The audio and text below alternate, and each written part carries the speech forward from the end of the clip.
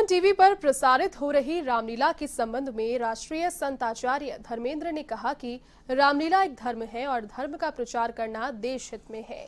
Corona काल में धर्म का प्रचार करना मानव जाति के लिए वरदान है। राम की कथा का प्रदर्शन करना और इतिहास से युवाओं को अवगत कराना अच्छा प्रयास है। गौरतलब है कि कोरोना काल में एवन टीवी की ओर से परंपरागत रामलीला का प्रसारण किया जा रहा है। देश भर में रामलीला के प्रति दर्शकों में खासा उत्साह नज़र आ रहा है।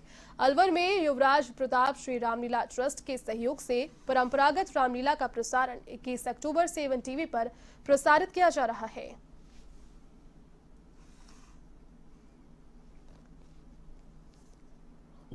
संसार की सबसे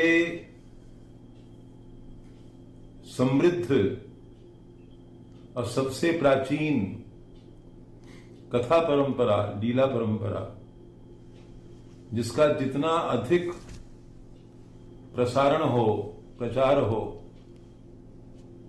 उतना ही विश्व के लिए, संसार के लिए, मानवता के लिए कल्याणकारी होगा। भगवान श्री राम के लिए कहा गया है, रामो विग्रहवान धर्म। राम साक्षात मूर्तिमान धर्म है। धर्म है।